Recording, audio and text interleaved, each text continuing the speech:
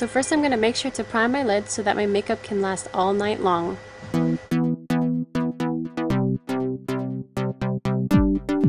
Using my Wet n Wild Jumbo Cream Eyeshadow Pencil in black, I'm going to apply this all over my lids and smudge it out with a clean finger. But don't worry about it not being perfect because you're going to blend it out in the end anyway.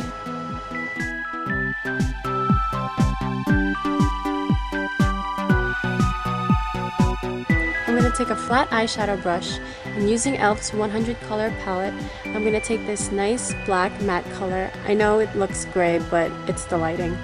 And I'm going to apply this all over my lid. Next I'm going to take this other black color with pretty sparkles in it and apply this right on top of the other black eyeshadow.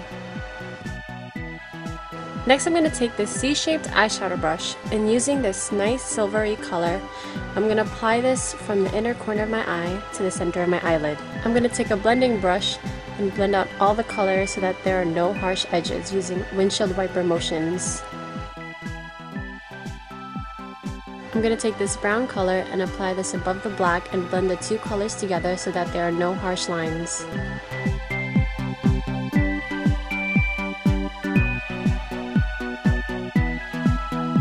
Using this angled highlighting eye brush, I'm going to take this nice white creamy color to highlight my brow bone.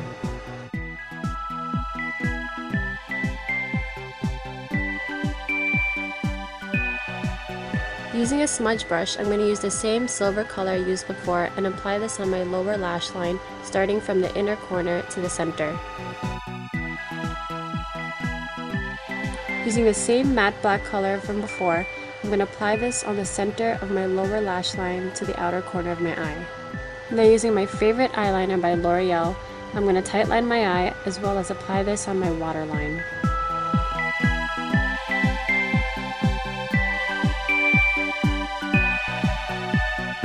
Now it's time to define the brows. Using this angled brush, I'm going to take this light brown color to fill in my eyebrows and it's always good to use a shade lighter than your eyebrow color so it doesn't look weird and dark if you know what I mean.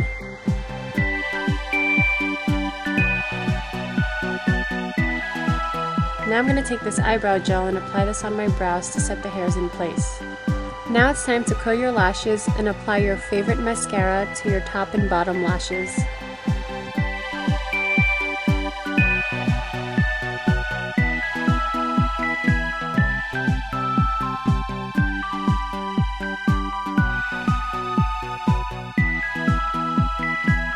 Using a flat blush brush, I'm going to take Milani's multicolored blush in Copper Sunshine and apply this to my cheekbones.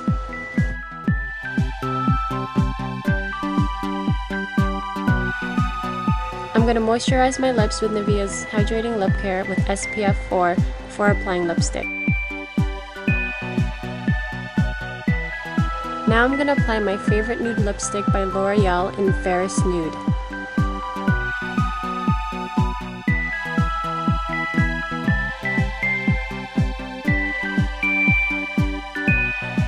Lastly, I'm going to top it off with this nice pink lipstick by e.l.f. called Ballet Slippers.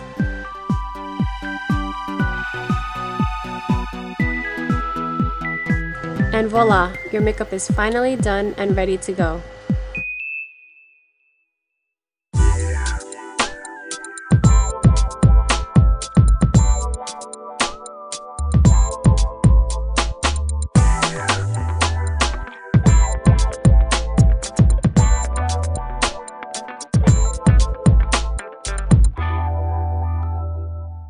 Hey guys, so here's my outfit of the day that I wore to go along with my makeup.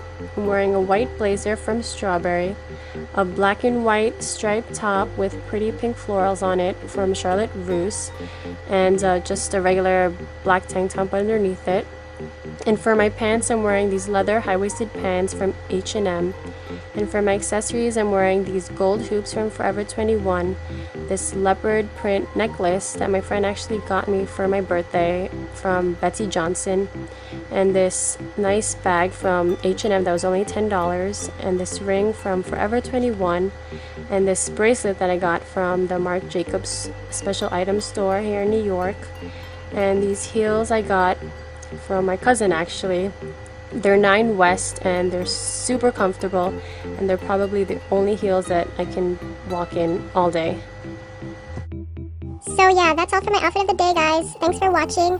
Hope you enjoyed, and I'll see you guys in my next video. Bye!